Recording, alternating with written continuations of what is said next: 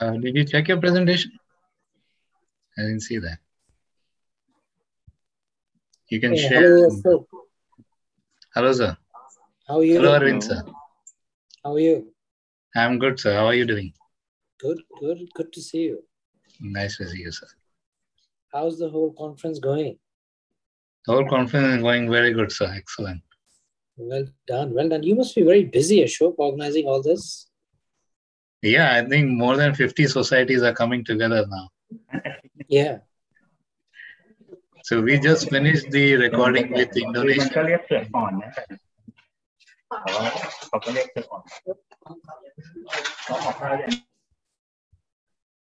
So that is done. APOA Wales was there in the afternoon. The women's wing of APOA. So oh, wow. that too.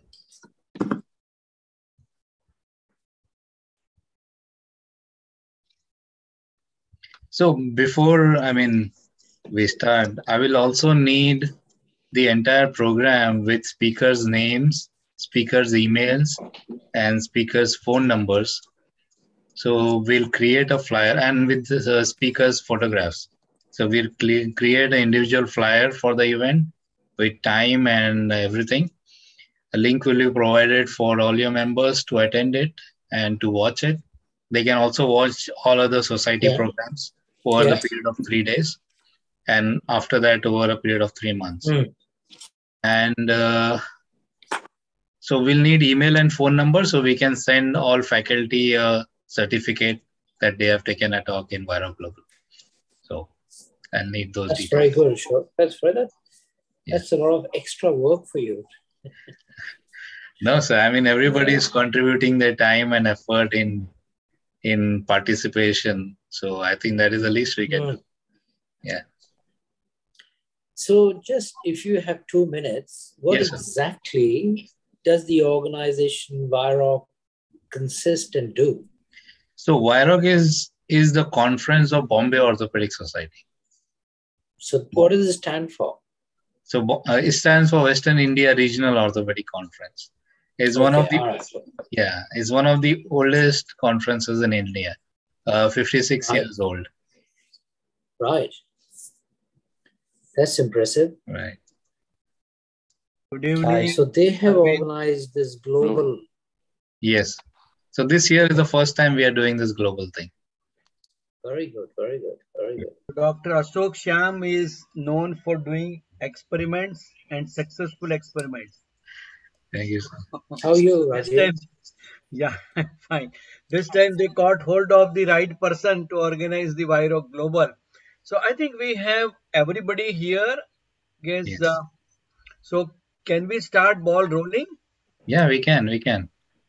Yeah. So will there be any introduction this time? Because the last session and this session you will edit and combine. right? Combine, yes. Yeah. I think there won't be any introduction. I'll just give you a small countdown when the recording and everything starts. Yeah, and then we will start with uh, Professor Pongpol. Yes. So, Rajiv, you should introduce the speakers. Hello, hi. Good evening. Hello. Yes, I, I am the first one, right?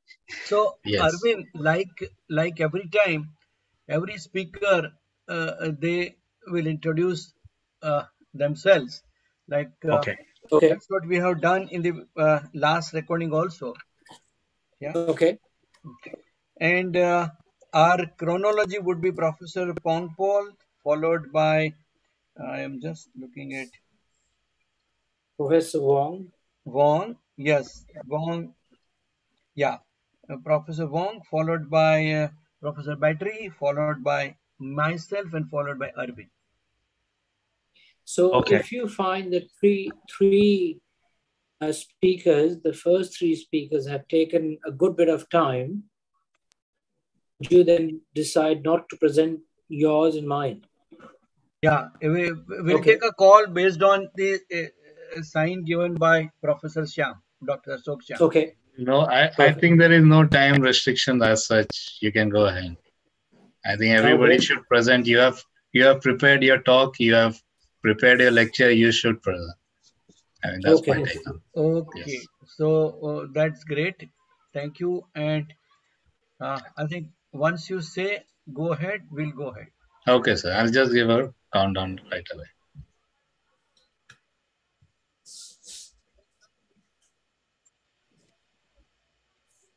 We're live in three, two, one. Go ahead.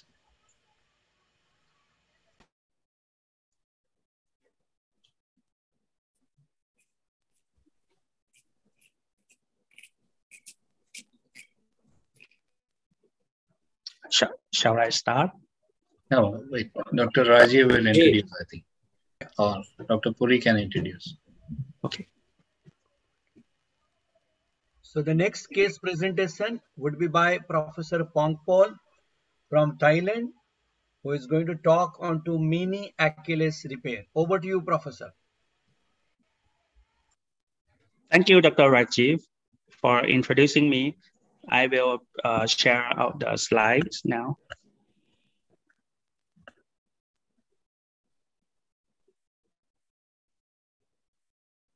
Okay. Uh, th thank you again for uh, giving me a chance to be a part of this uh, interesting conference. Uh, today, I, uh, I will share uh, my case of mini open Achilles tendon repair. Uh, this is the female, uh, 52 years old, uh, with uh, two hours prior to arrival, she had left uh, posterior ankle pain during playing badminton. And the pain was sudden during pushing off and jump and could not bear weight due to pain and weakness and no previous pain before. The examination found palpable gap with tenderness at left Achilles tendon, and Thompson's squeeze test uh, were found to be positive. The X-ray, sorry, the X-ray found a loss of the Kager's triangle without bone avulsion. And the MRI uh, found complete Achilles tendon rupture with a gap uh, uh, three centimeters at five centimeters above the calcaneal insertion and no evidence of tendinopathy. Diagnosis was uh, acute left Achilles tendon rupture. After discussion uh, with the patient about choice of surgery, uh, conservative or surgery, uh, she need to play uh, badminton and uh, use a very active lifestyle. So she chose uh, to, uh, to perform surgery. And the choice of uh, surgery was discussed uh, between open repair, percutaneous repair, and mini open repair. From the literature, uh, the percutaneous repair had an advantage for reduction of skin trauma, skin adhesion, uh, reduce infection and reduce wound complication overall. But uh, the concern is about re-rupture rate. Is it okay to do it in percutaneous, percutaneously? So the indication for the percutaneous repair uh, would be acute rupture, less than two weeks, and no underlying tendinopathy that we have to go there to fix them. There are a study compare between open and percutaneous repair found no difference in re-rupture rate or deep infection. But uh, minimally invasive technique had uh, less superficial infection and better patient satisfaction. And the percutaneous repair is a blind procedure. So the concern is about sural nerve injuries. For the percutaneous repair, uh, we have to do the multiple step wound at, uh, around the course of the sural nerve. Uh, and the sural nerve cross the Achilles tendon at about 8 to 12 centimeters from the insertion. So that is the area that we have to do a step wound. So there are some risks of uh, sural nerve injuries. Uh, the mini open technique, we will do a small open wound at a proximal stump at dorsal medial side and go to the fascia. We work under the fascia.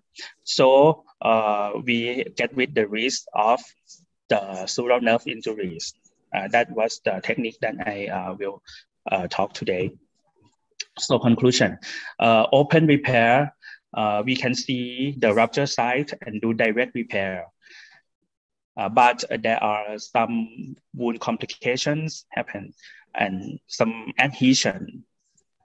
The per percutaneous repair have less wound complication, but there are some risks of sural nerve injuries. And mini open repair, it has less wound complication and also has less uh, risk of sural nerve injuries because we work beneath the fascia. Uh, I uh, learned the mini uh, open repair technique from Germany. Uh, Professor Amlang and uh, Professor Rammelt are the one that um, invent this equipment and introduce the technique. This is called the Dresden instrument from Germany. there are there are a long equipment that have a handle and a hole at the end of the instrument uh, to put the the valve uh, to, to put the suture material from distal stump to proximal wound. Uh, Dresden instrument had a name from uh, Dresden, which is the city at the north of uh, Germany. Uh, we put the patient in prone position and doing uh, outline the rupture site, the proximal stump, distal stump, and doing uh, three centimeter dorsal medial, dorsal medial skin incision at about three centimeter proximal to rupture site. And then uh, open the lower leg fascia. And the working plane is between the fascia and the paratenon. So we keep the paratenon intact. Then introduce the first Dresden instrument medial to the Achilles tendon and stop at uh, about one centimeter proximal to the calcaneal insertion. And then uh, introduce the straight needle with fiber wire to the distal stump uh, through the hole at the tip of the instrument and go through the, the deep of the depth of Achilles tendon. And then introduce the second Dresden instrument lateral to the Achilles tendon, stop around here and uh, push the needle through the hole at the other side. And then we pass the fiber valve through the hole of the second instrument and it will be like this. Do the same thing to the second and third fiber wires. Uh, we may have to uh, move the instrument a little bit to get enough space for the three fiber wires. Uh, each uh, suture should be uh, uh, have a distance from each other about five millimeters. And then uh, one end of the fiber wire will fix with one hand and pull the other end with the instrument out to the proximal wound like this. And then pass the other end of the fiber wires. It will, so we will have three fiber wires we can test the strength of our suture by pulling it and see the ankle plantar flexion. If we get uh, enough strength, so next is uh, suture the proximal stump. Uh, we can see the our needle. We can see the the suture material, so we can avoid the sural nerve here. Again, the distance from each other should be five millimeters and then uh, we tie the knots. And the, the degree of ankle plantar flexion should be the same as the other side. And uh, we can do uh, palpation here at the rupture site to check that the stump, uh, proximal and distal were met together perfectly. And then we close the wound, close the fascia and close the wound. This is the wound after uh, it healed It's uh, healed nicely. For post-op protocol, uh, I uh, put the posterior slab in comfortable equinus position and uh, non-weight bearing. And at two weeks, we uh, remove the stitch and uh, apply the cam boot with the heel lift for three piece, three steps. And remove it, uh, remove the step, one step every two weeks. And at eight weeks, we let uh, the patient uh, walk on full weight bearing and running at three months and return to sport at six months. For the result uh, from the literature, there are excellent uh, functional outcome and satisfaction and no sural nerve injury, no wound complication, and return to sport time is about 4.5 months, and no difference in range of motion and strength compared to the other side. And re-rupture rate is about uh, 2%, which is the same as open surgery. So my take-home message, uh, the acute Achilles tendon rupture, uh, we should give a proper treatment uh, according to patient need. And uh, conservative treatment can be done in low demand patient and the functional rehab protocol and early range of motion should be prescribed. For surgery, uh, should be done in young active patient. Uh, we do open surgery in chronic rupture, which uh, has uh, some, uh, which have the disadvantage of wound complication. Then percutaneous and mini open, we can do it in uh, acute rupture. By concern of percutaneous repair is about sural nerve injuries. The mini open will be the other choice. Thank you very much. Thank you very much, Professor. It was a great presentation and the technique looked seemingly very easy. But uh, if you do not have this kind of uh, fancy instrument, would you suggest something else to be utilized by the average general orthopedic surgeon? Um, my colleague used to use the uh, uterine curette uh, of the OBGYN in this. It may not perfectly fit because it's not designed for this, but it can be used. But but I, I never had that experience. Yeah. So can one use a, a, a small size of sponge holder and a needle for that? Yeah. Because uh, in Asia Pacific world, uh, in the countries in which we all live, we have to have some innovations which would help us. And your experience till date, had you had any re-rupture? How are your results? How many cases you must have done by now? I I do it uh, for uh, 10 cases, not that much, but I, I don't found re-rupture uh, yet maybe uh, lucky because the, the number is uh, maybe uh, early and too small. Mm. I will uh, keep it. And, how uh, many maybe how many months follow? I've uh, the maximum follow up time is about four years.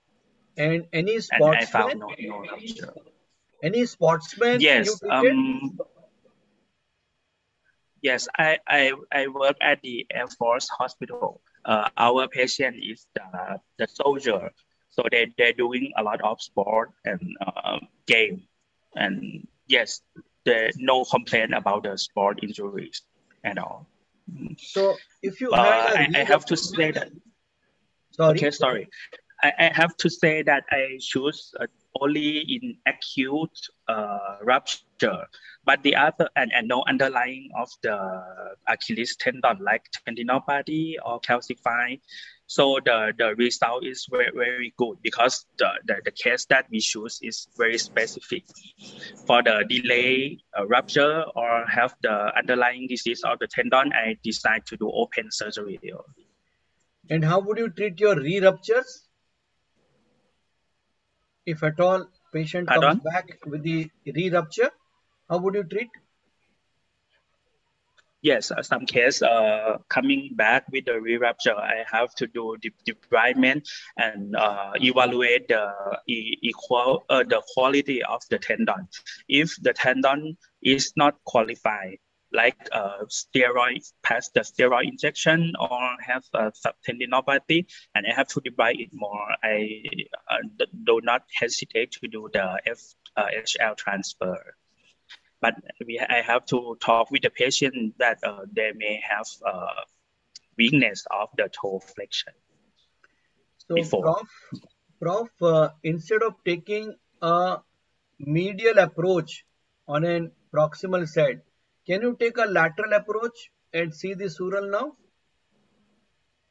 If I have understood properly, you took the posteromedial approach for a proximal Yes. side. So if you can, if you take a posterolateral approach, would it not be better that you can see the sural nerve under vision and do your repair? It could be done. Yes, it could be done, but um, I'm not sure because the, the dorsal medial may be safer in, in my idea because it's away from the sural nerve and we don't have to identify them. We just away from them. And we know that the plane that we work is another plane of the sural nerve.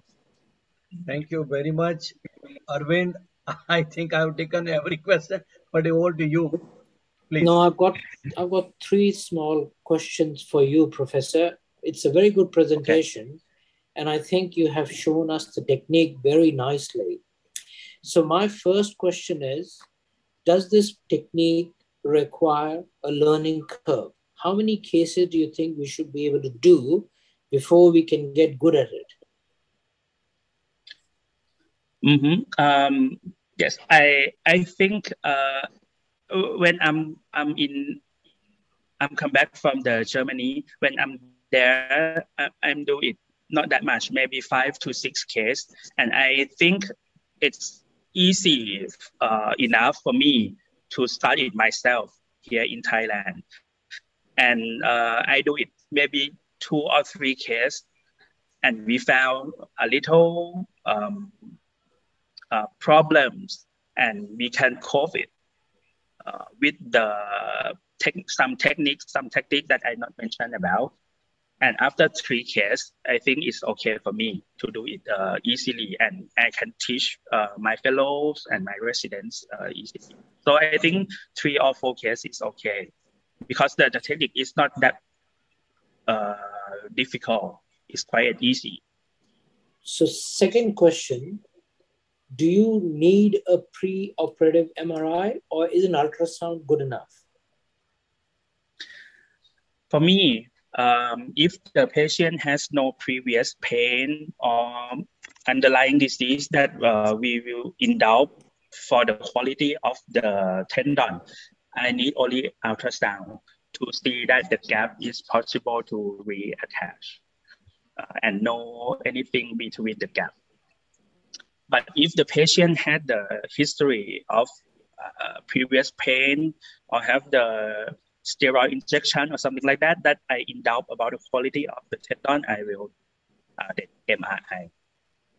Right. Thank you. Last question is how much of a minimal stump of Achilles tendon distally do you need to do this procedure? So uh, the the distal distal most suture will be one centimeter from the calcaneal insertion, and the other two is about one centimeter, uh, about five millimeters from th- that one. So uh, 2.5 uh, centimeters, or I would say three centimeter is okay to do this technique. Okay. All right. That, that's very good. Thank you so much, Professor. Thank you, Professor. If I could ask you to stop sharing your screen, and if I could invite Okay. Professor Wong from Okay. Hong Kong to present a very, very interesting case onto persistent ankle pain. So over to you, Professor Wong.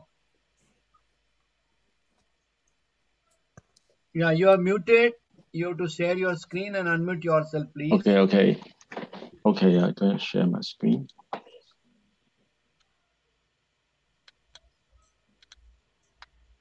So, um, thank you for your kind introduction. And I'm Dr. Wang from Hong Kong. So today I would like to share a case about a 45 years old lady. She was a flight attendant.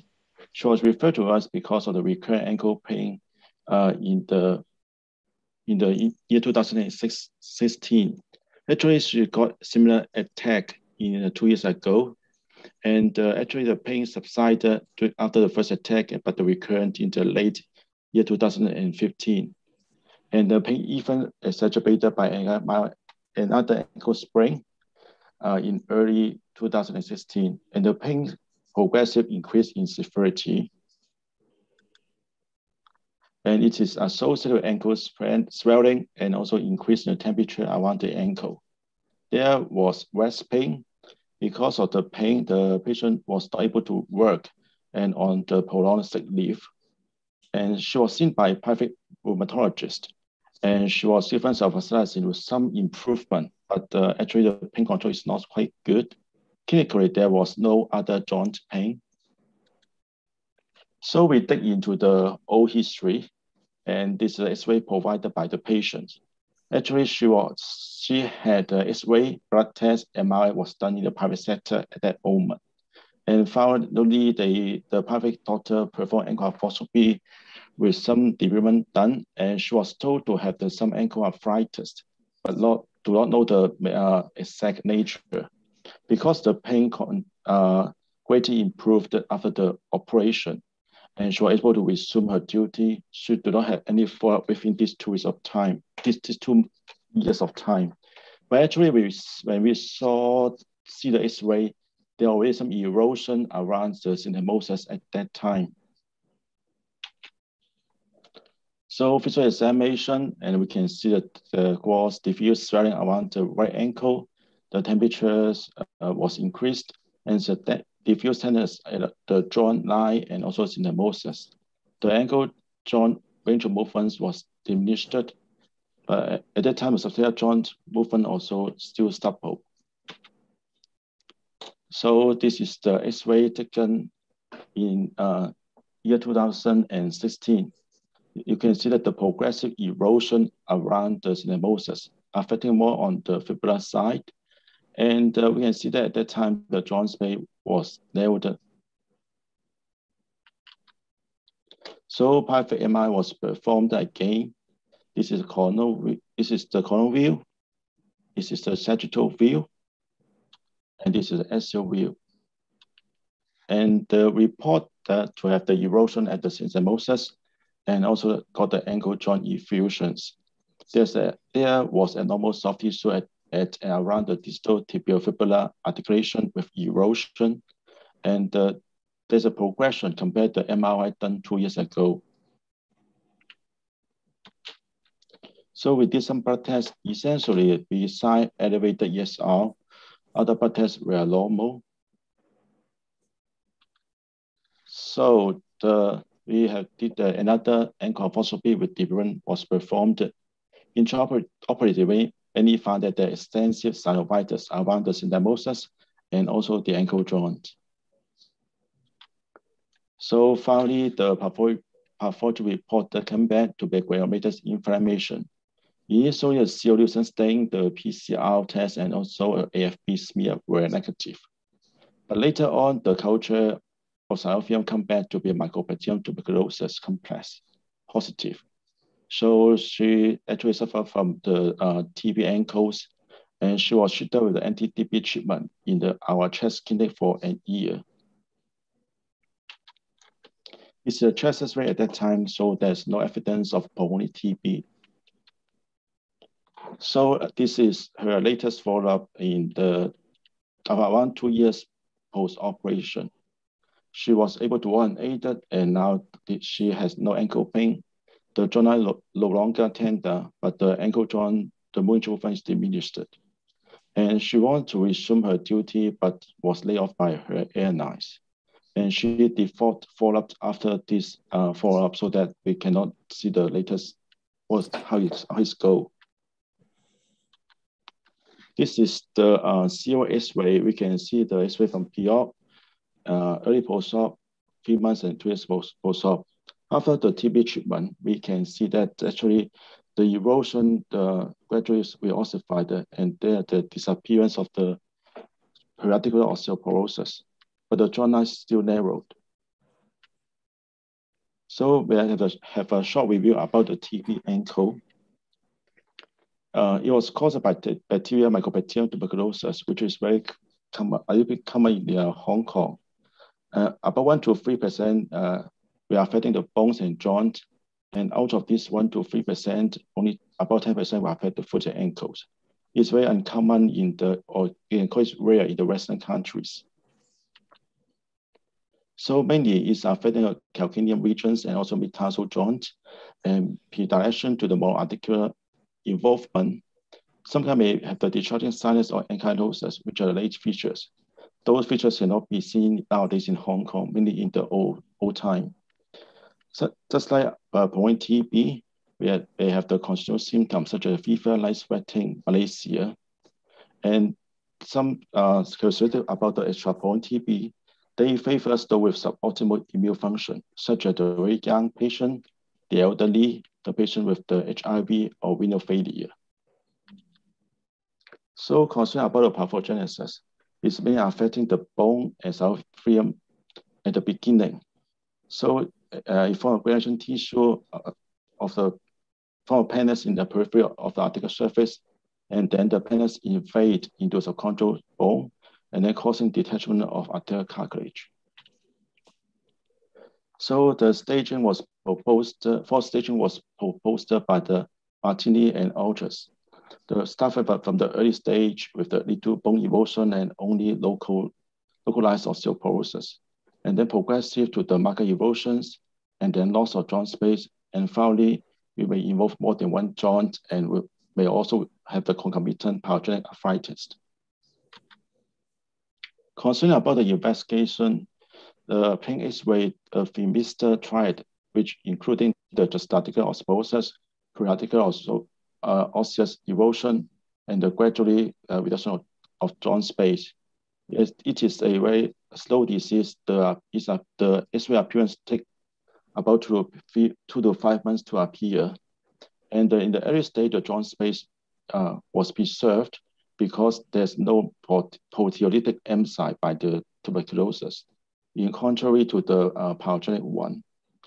So chest X-ray should be taken to excluding concomitant TB, pulmonary TB. CT scan the mainly for about for the artic, uh, bony anatomy and only any cortical break or collapse of the articular surface. MRI is a soft tissue and, uh, and look for, for the soft tissue swelling and collections but they are low diagnostic values. Biochemical tests and methodological tests uh, may provide supportive evidence. Inflammation marker may be elevated, ALP may be increased for bone activities. Some newer tests such as interferon was uh, released, but uh, they cannot differentiate active disease or latent infection. So the gold standard remaining about the bacteriology, about cell stain and the culture, but unfortunately, Unfortunately, the sensitivity is not so good. Some reporting only 20 to 40% with a positive culture. And uh, PCR is a, is a more commonly tested with a good, better sensitivity and also give a earlier diagnosis. So histology also give us some clues whether it is a TB or not. This is uh, positive in 80% of cases characteristic of the histology including caseation granuloma, lymphocyte cell with caseations. So treatment-wise, the standard treatment is for the TB medication with the multiple combination of drugs for and for the extrapoint TB, it takes a long, longer period of times to compete for the whole treatment. So treatment-wise, uh, it can be used for diagnosis such as biopsy to and uh, for synovectomy, debridement, sinus tract excisions may also help to preserve the joint. And for the case of the for late presentation with the joint destruction or even deformities, we may consider joint resection or apoptosis for the late stage. These are the reviews of the surgical treatment for the uh, TB ankles, but uh, I think the most important one is the limited the, the, the west, inside the west circle that limited need for the surgical intervention. If diagnosed early, that means early diagnosis is essential. Just, just like our case, if the patient can be diagnosed in the first uh, incident, then can save her from the second attack and preserve the ankle joint. So the take-home message is about the fighters presented with incident onset and persistent symptoms. High suspicious, especially in endemic regions such as Hong Kong, and also immune deficiency patient. Early surgical intervention, um, biopsy in case of doubtful diagnosis, and the mainstay of treatment is the prolonged course of anti-TB chemotherapy. Thank you. Thank you very much, Professor, for bringing out one of the most commonest problem we face in Asia Pacific country. In India, we say that Yeah, if you are yeah. not yeah, if you are not able to diagnose anything, think of tuberculosis. Because that is one of the very, very common problem we see. Uh, uh, my question to you, would you have gone in after six to three months of anti-tuberculosis therapy to go in and do synostosis between fibula and tibia? So excuse me, I can't hear you well. Yeah. So once you started anti-TB treatment for this patient Yes. after diagnosis, would you have gone in to do synostosis surgery where you have fused the tibia and fibula after three months of anti-TB treatment? Uh, the first phase we seldom, uh, unless the the joint is the destroyed very severe. Actually, we, we mainly wait for the uh, medication to do the job until the the uh, then we treat the late complication complication later on. Yeah, it's uh yes. Okay. Over to you, Arvind. Oh, a very interesting case, uh, Professor Wong. Can I please ask you a question? Yes. Looks like on the MRI that the ankle joint is quite badly arthritic from the sepsis that she had. Is she having any symptoms of pain and stiffness in her ankle? And do you plan to do anything about that in the future? Yes, uh, actually, the luckily, can, yes, the ankle joint was destroyed in this case. Luckily, the patient do not have any symptom in the last follow-up, but she did follow up afterward. Uh, as she is quite young, in case let's, let's say she has symptoms, I may think of the um, ankle arthrodesis for this case, or the uh, if the bone stock is enough. Actually, we are also doing some total joint total joint replace ankle joint replacement for this state for the case, but I'm not sure uh, is it is helpful for this patient. In the in the old day, we do ankle fusion, but uh, if he, she's continue follow up, we may consider uh, ankle replacement. Yeah. Do you think that the TB started in the ankle joint and then went towards the syndesmotic area? Or do you think do you think, Uh, the, think that the primary process was ankle tuberculosis? I think as shown in the first X-ray, the first part being involved is the uh, synostosis. I think it started in the synostosis and then spread into the ankle joint. Yeah. Okay, well, thank you very much, Professor. Thank you. Thank, Thank you, you, thank you. Professor. Uh, I'm sure uh, our uh, orthopedic surgeons must have got a lot of insight from your presentation. May I invite Professor Bedri from, am I pronouncing you right? I do not know, from uh, Turkey to come up with his case, which is uh, one of the rare presentation at calcaneo cuboid joint. Over to you, Professor Bedri. Uh, thank you, uh, Dr. Rajiv. And I want to thank both of you for giving me this opportunity to uh, be a part of this session. I will try to tell you a case where we applied uh, isolated calcaneocuboid fu- fusion. The patient uh, was uh, 20 years old and he presented with a pain in the lateral column of his left foot.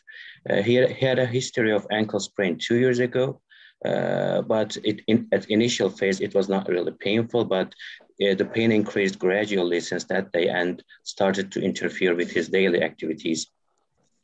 Uh, according to what he really uh, defined, pain usually starts after a few hours of activity and prevents him from performing his daily, daily tasks and also causes limping when it's painful.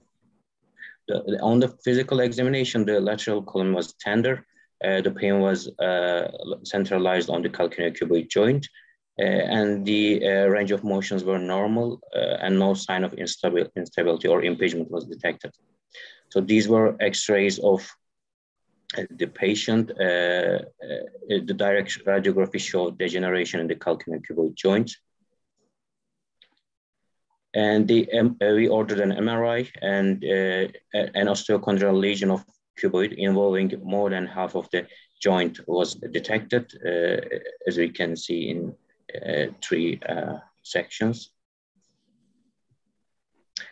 And we planned a conservative treatment for the patient, uh, but six months of conservative treatment didn't provide any improvement in pain.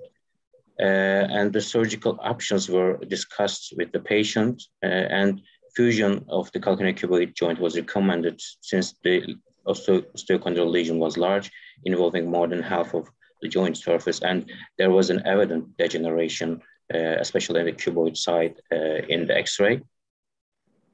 So uh, we uh, proceeded with the calcaneocuboid joint fusion. Skin, skin, incision was made over the calcaneocuboid joint, and uh, at this this slide, I will try to give you what we have done with a step-by-step -step video. We started with the debridement of uh, the cartilage with a rongeur after making some room for us. We also applied uh, curettage of the uh, chondral uh, parts. And then we uh, tried to reach the medial side uh, as the medial uh, chondral structures can be left. And that's why we placed a laminar spreader to see the middle side better. And uh, after, after debriding the middle side, uh, we have to be, make sure that the middle side is debrided uh, and we can check if the gap is closing uh, to, to, to uh, see if the middle side is clearly uh, observed. after we washed out the joint, we check the, if the gap is closing. So uh, we made sure that the medial side was completely debrided. And then we measured the joint length to have a, a iliac graft since we thought that it's gonna, uh, the lateral column will be uh, shortened uh, due to the large osteochondral lesion uh, debridement. And we uh, harvested the graft with the oscillating saw uh, and then we uh, complete the cut. Uh, we also complete the cut, cuts with an osteotome. And then we harvested the uh, cortical iliac autograft, and also we had some kind of uh, cancellous uh, iliac autograft to use. And we turn back to uh, calcaneocuboid joint, and we tried the graft, it was bulky. Uh, it, it, would cause a lengthening of the uh, lateral column. So we trimmed down it and downsized it uh, to, to make it a, a better uh, one. And uh, before placing the grafts, we drilled the joint surfaces to promote healing, um, to have intramedullary uh, content into the joint. And we filled the medial uh, with, with some kind of cancellous grafts. And then we uh, placed our cortical autograft to restore a lateral column and uh, provide structural support. And then we uh, applied the arthrodesis with a uh, plate. compression was applied through a mini plate, which was then secured with locked screws. And the uh, post-op rehabilitation included a short leg cast uh, for three weeks, and we didn't want him to uh, bear weight uh, for three weeks. After that, the, range, range of motion exercises were started, and partial weight bearing with a walking boot uh, were started in the fourth week, and full weight bearing was allowed six weeks after surgery. Uh, full consolidation was achieved at the fourth month, and uh, post-operative uh, functional score increased uh, significantly compared to pre-operative period. And uh, postoperative one-year uh, X-rays are available in the slide, as we can see the full, full consolidation. So uh, the osteochondral lesions of cuboid are rarely described in the literature. So uh, the conservative treatment can fail. So should, surgery should also be considered. And surgical options can include both salvage procedures, maybe microfracture and uh, some allografts, uh, but fusion uh, should be also considered when the degeneration of joint space exists and uh, calcaneocuboid uh, joint involvement is more than half of the joint. Uh, so we know that isolated arthrodesis of mid-tarsal joints can alter the biomechanics of the foot and may lead to arthrosis in other joints, but a calcaneal joint has the least mobility and its fusion almost uh, has no significant influence on remaining hindfoot motion. So uh, we can be more safe about that. And uh, isolated calcaneal cuboid joint debridement can lead to shortening in the lateral column if the uh, osteochondral lesion is large. So the shortening should be avoided by placement of a bone graft in such cases. Uh, thank you for listening. Thank you very much, Professor, uh, for a presentation of a very rare location of osteochondral lesion, uh, that too into the uh, cuboid. Uh, the most vital question I would wish you to answer kindly would be how intraoperatively you determine that the restoration of the length of the lateral column is precise, is not more, is not less. So that is the key uh, uh, point in success of this surgery. Yeah, uh, actually, uh, after debridement, we try to see if uh, uh, the gap is closing, and by checking that, we we, all, we also could see that how many degrees of abduction was taking place in the foot uh, when we try to, to, close the gap. So uh, it, it, was kind of more than what we ex expected. Actually, uh, before going into surgery, we, we were not like really, we have to put a graft between the bones. So it, also there could be a chance to not to put anything uh, at all. Uh, but after seeing that the gap closure and also the, we, after we see that the abduction maybe more than five degrees were taking place. Uh, then we just wanted to put a graft. And uh, actually, uh, since it's just an acute uh, application, uh, after debridement, the foot stays in its normal position. So we just try to stay uh, faithful to that position. If you put the graft and it just gets adducted or it gets abducted, then we try to avoid that by, by, by that. So would painting and detailing of both the limbs and comparatively evaluating both intraoperatively, would you have help you more? Sorry, uh, can I can I hear it again? Thank so when I do such kind of cases, I mm -hmm. paint and drape both the lower limbs and intraoperatively I compare both the foot in AP mm -hmm. as well as oblique view which gives me objective evaluation of whether I am going into forefoot abduction or I am doing going into adduction or I am into neutral position. Yeah, I, th I think so. That will also be helpful. Over to you, Arvind. Arvind, you are muted yourself. Thank you very much for such an interesting case, Professor. Can I ask you, was there a history of trauma? Yeah, I mean, it, uh, what the patient uh, really uh, defined as like that there was a trauma history for uh, like two years ago, and at that time he just had a like a short like uh, splint, but they told him that he does not have any fracture or something like it was like a kind of soft tissue problem for for for mm. uh, management and after two or three uh, uh three weeks of uh, splint application he just uh, proceeded with like weight bearing and uh, anything else he was okay at that time at, at first times but uh, during the, that two years uh, the pain just gradually increased and increased and then uh, at the end of two years he was like uh, it was interfering with his daily activities. Because it's very unusual to see calcaneocuboid arthritis, which is so painful. You know, talonavicular arthritis is very painful, subtalar arthritis is very painful. Mm-hmm. You do see patients with calcaneocuboid arthritis, not OCD. They usually don't have as much pain on that side as they have on the medial side. Mm-hmm. But very interesting case. Thank you. Thank you. Okay, Arvind, can I go ahead with presenting my case? Can I start sharing my case? Yeah, please. My screen. Okay. So uh, I hope my screen is visible and I'm audible. Yeah, it is. Okay. So thank you. And let me go ahead with this case of neglected compound fractured talus, which presented to us at the end of three weeks. So this is a case of male 23 years who had a road traffic accident and had a crush injury of the foot.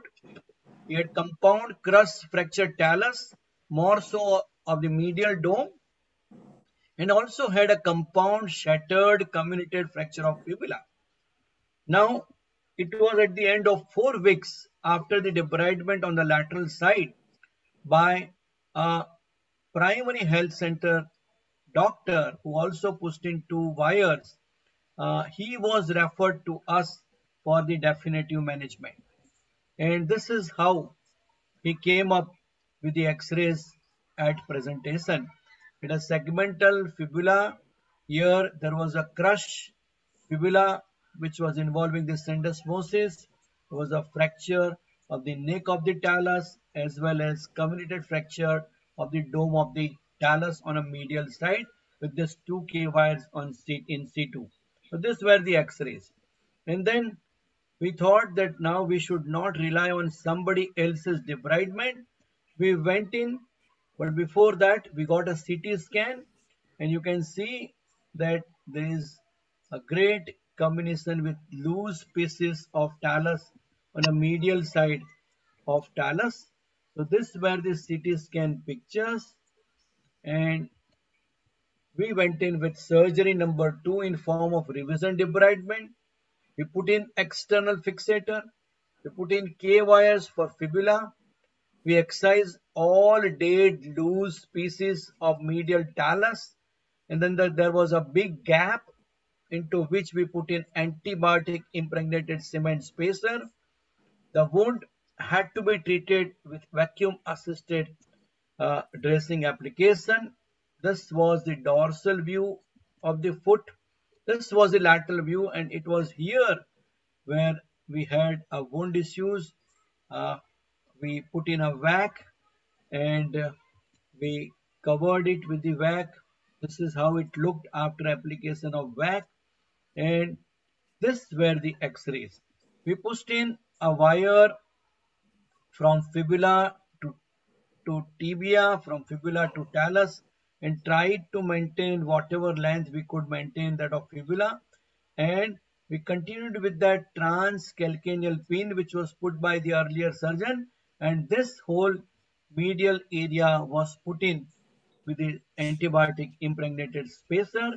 This is how the picture looked on post-operative x-rays.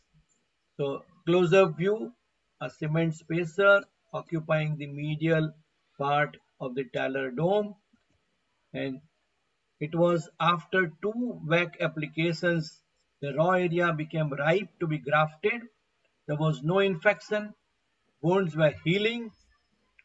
We went in, we removed the fixator K wires are seen. This is how the condition looked after removal of fixator. And this were the x-rays at the end of six weeks where fixator was removed. Uh, fibula was sizably length was maintained with this 3 K wires on and a cement spacer in. Uh, so Arvind, if I wish to generate a small discussion can I ask your brains to help me? What next at the end of now 10 weeks post trauma? Serology is normal. There is no infection. No uh, problem, no discharge from the wound, everything is healed. What definitive management would you like to do for this patient? So, how long has he had the cement spacer, Rajiv? So it's about six weeks that he had cement spacer. All right. And you've done some biopsies to see if there's any infection or aspiration? Yeah, we have done two uh, consecutive negative aspirations and the serology CRP and procalcitonin and uh, ESR have all settled down. They're normal. Right, okay.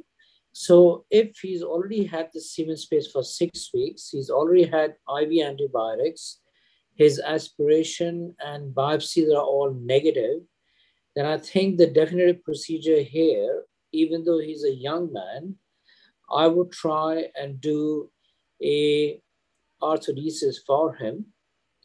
And with bone graft, his subtalar joint doesn't exist anymore. So I would not hesitate to try and do like a nail for him and put a lot of bone graft where the talus is missing. Um, leave the talonavicular part of the talus intact. And and uh, uh, you know like really really keep a close eye on him. I would take more samples at the time of the surgery. Keep him on iv antibiotics. Until all those samples are proven to be negative i wouldn't stop the antibiotics as well.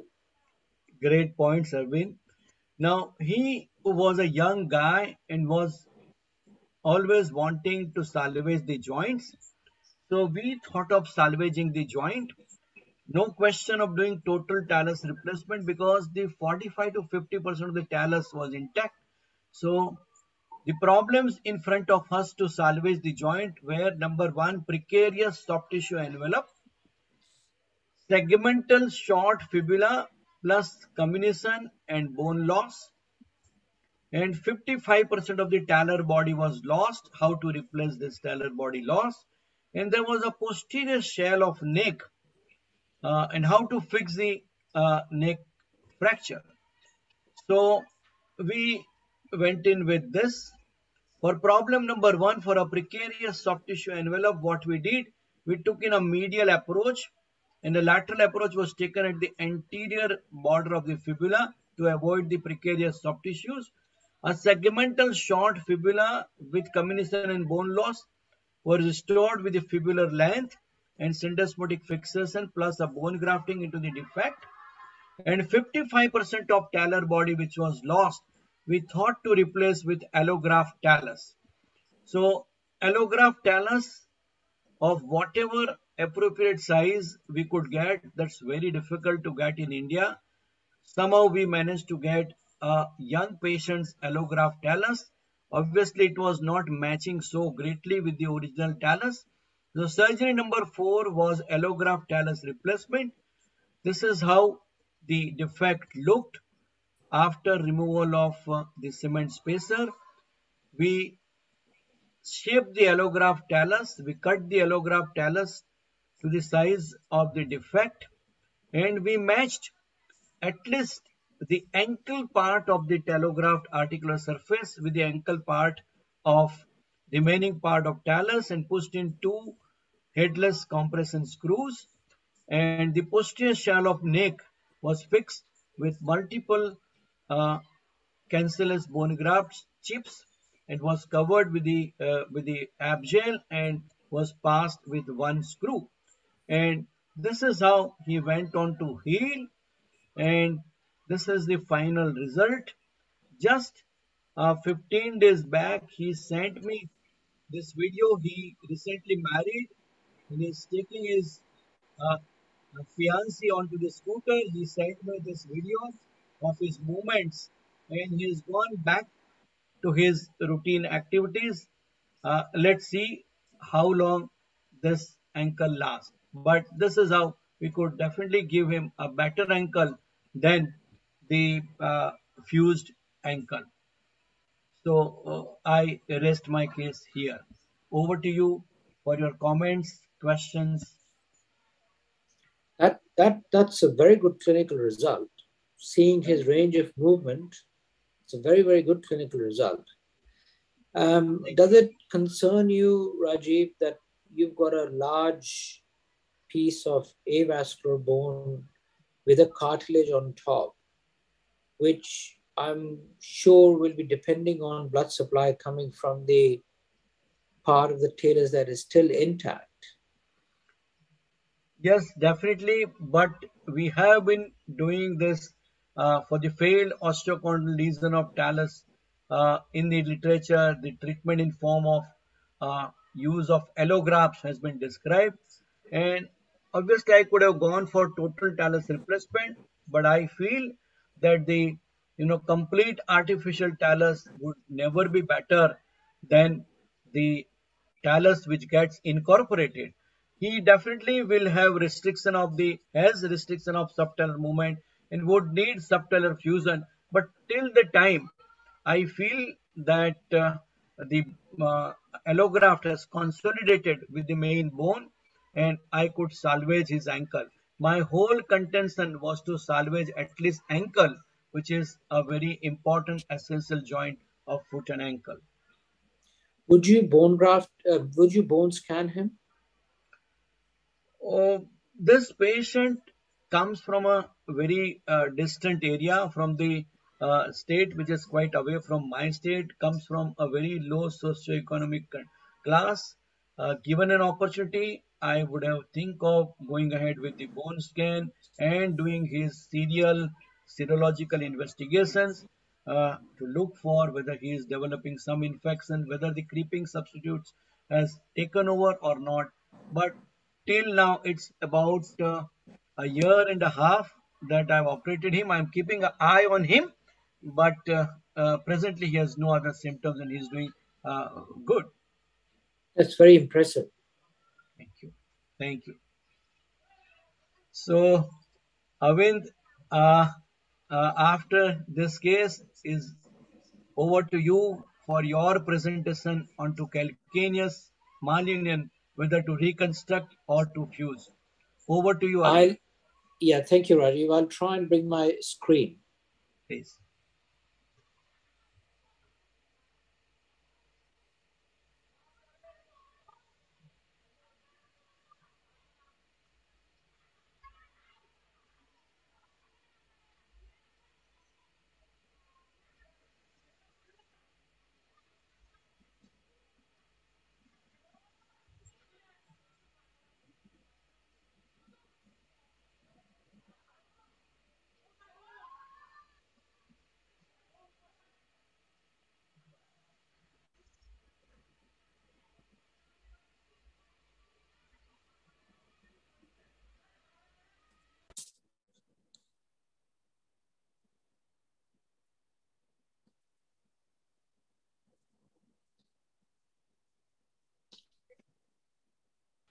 Yes, sir. I'm just trying to bring it up. Can you see it? No, we don't. Okay. Let me try again.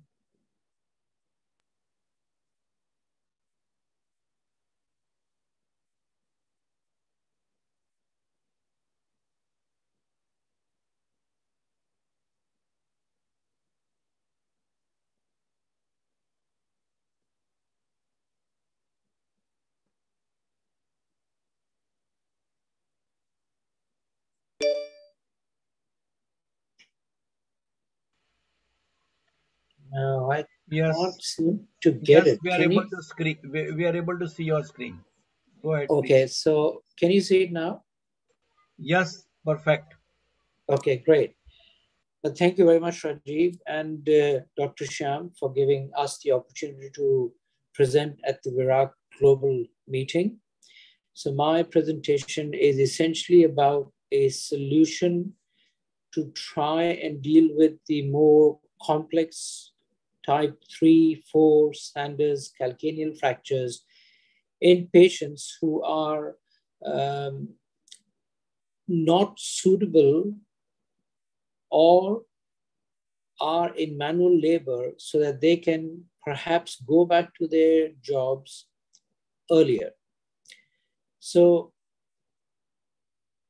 this is one of the important things about calcaneal fracture that when you're treating fractures, one should anticipate future difficulties before they arise. And with calcaneal fracture, there is sufficient certainty of future trouble to warrant arthrodesis with reconstruction to avoid prolonged disability. So it's these fractures that we have been looking at and trying to find a solution. And this literature clearly says in the early 1990s that type 3s and 4s, nearly 23% and 70% went on to fuse, but this number has increased to 20% and 50% in 2014.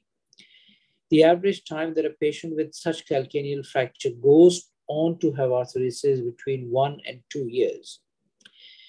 So, what variables will predict that patients will have subtalar arthrodesis. It's usually a male, a heavy manual laborers.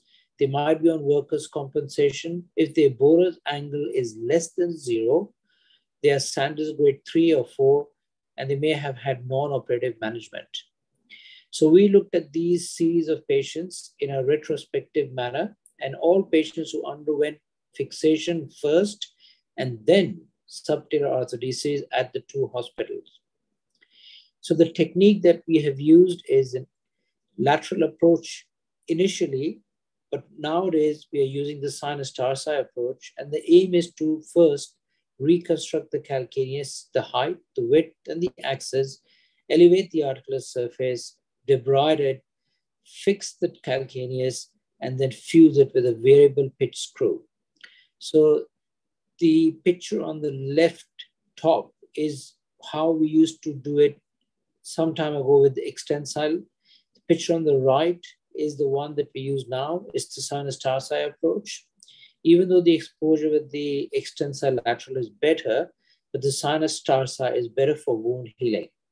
So once the sinus tarsi is made, the peroneal tendons are identified, they're taken out of harm's way. This drops you straight into the subtalar joint, where you can see quite clearly the posterior facet, the middle facet, and the undersurface of the talus. So once the um, exposure to the joint has been done, we first try and elevate all the soft tissue off the lateral wall of the calcaneus and, and, and try and reduce the expansion of the lateral wall that occurs in most of these calcaneal fractures. The aim is to reduce the fracture first. So using a Schanz pin, we try and correct the width and the varus, then the height, and bring the length out of the calcaneus as best as possible. We are not trying to recreate the calcaneus. We are trying to get the heel to fit into a shoe and at the same time bring the articular surface elevated enough so that we can do a proper arthrodesis. The plate of choice for us are these. They are the wave plates, and they can be introduced through the sinus tarsi using a jig and under image intensifier placed on the lateral wall and fixed in the, in the photograph that you see at the bottom. So in our case series, we had only two, uh, 9% were Sanders 2, and the majority were 3 and 4. And the results, we had 18 person complications, essentially superficial wound infection. Some returned to theater for removal of metal, but they all returned to work within six months' time. So here's some examples of the cases that we have done. Preoperative appearance of the calcaneus fracture, CT scan and plain X-ray. And this is the post-op appearance where the whole calcaneus has been reduced, articular surface elevated, held with the wave plate, and then fused with a variable pitch screw. Another example, this was before we used the wave plate and we, oh no, sorry, this is the one with the wave plate. And again, it shows that the fractures fixed sufficiently well to show that the heel is not in varus, there is no lateral wall protrusion, and that the fusion is looking satisfactory. And this is the one that I wanted to show you before we had the wave plate. We used to use the uh, malleable plates from the Synthes um, mid uh, Synthes uh, um, foot set. So this is our current practice now. If we do get a patient who's got grade three or four, he's a male, underwork compensation. age around 50 or above with no comorbidities, we would go ahead and offer them this surgery. And if they're happy to go ahead, perform it so. So the advantages are this is one operation, there's earlier return to work, no increase in complications compared to ORIF of calcaneus, but it has to be done on a carefully selected patient. Thank you very much. Thank you, Arvind. Uh, thank you for a short and swift presentation of something which has evolved into a controversial aspect. Uh, well, I'm absolutely on one page with you. Uh, level 6 evidence, we have been doing a study onto Sanders 4 bag of bones calcaneus fracture, bilateral Sanders 4 bag of bones fracture, where for all right-sided fracture, I've been doing open reduction internal fixation. And all left-sided bag of bones Sanders 4, we are doing primary fusion. And out of our 24 cases over period of two to three years is the our follow-up. We are just waiting for more follow-up to go in for the publishing the results. That all our patients were very happy on the left side where we did primary fusion. Mind you, these patients are the only earning member of the society. They are manual labor. They, are, they have sustained fall from height or fall from construction site. One or two of these patients had a suicidal jump from the third floor, but all of them were very happy with single operation on the fusion site. So having said this, uh, if you have a lot of loss of bone, how would you reconstruct the loss of bone uh, uh, if you're going ahead with sinus tarsi approach? Well, I must say, in all these patients that we have done, we did not encounter that problem. Even in the very comminuted fracture, there's usually one large chunk of bone that has got the articular cartilage, which when we have lifted and rafted with screws, we can then denude it with a burr and then just pass the, the, the variable screw. Now, if we do need to fill some deficit of bone, then we just take the bone graft, either allograft or autograft from the patient, depending on what is easier. And had you had any complications when you use extensile lateral approach? Yeah, we used to have issues with wounds. And uh, once my colleague and I, we both decided that we should stop doing the extensile lateral approach we learn how to do the sinus tarsi, and I have not done the extensile lateral approach for the last maybe five years now. Great. And what was the average time to subtalar fusion in uh, your cases? So they were back at work about six months, and they were nearly fused between three to four months kind of time. Okay. So again, it was a great uh, presentation, thought provoking uh, until Stephen Rammelt's study came in Indian Journal of Orthopedics, we all were for primary fusion for Sanders for calcaneus. It was only after that study that the discussion started whether to fuse or whether to reconstruct. But I am for a fusion like you are. So president and secretary are on one page so far as APOA council is concerned. So uh, my sincere thanks to each and every presenter. We had uh, 12 presentations of all unique cases and we are, I am also thankful to organizers of WIROC Global to provide Asia Pacific Foot and Ankle Council to come up on this platform. At the same time, I'll take the opportunity to invite all of you who are interested into foot and ankle orthopedics to join APOA Foot and Ankle Council with us. Over to you, Arvind, for your last word, and then we will close this. Well, I'd just like to echo what you have said, Rajiv.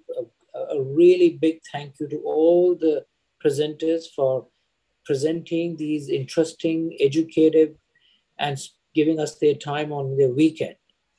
And certainly a big thanks to Dr. Ashok Shyam for helping us record and put it on the web for them to have a look at it. And certainly a big thanks to you, Rajiv, for organizing and getting involved with all this. Thank you very much. Thank you. Thank Over you very much. Ashok Shyam. Thank you very much, uh, Asia Pacific Foot and Ankle Society President, Secretary, and all the faculty.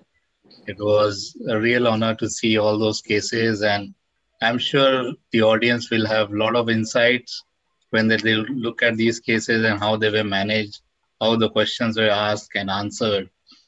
And it will be a global audience that will benefit from all this experience and evidence that you have presented. So thank you very, very much. Thanks. Thank you, Ashok. Thank, Thank you very you. much. See ya. Bye.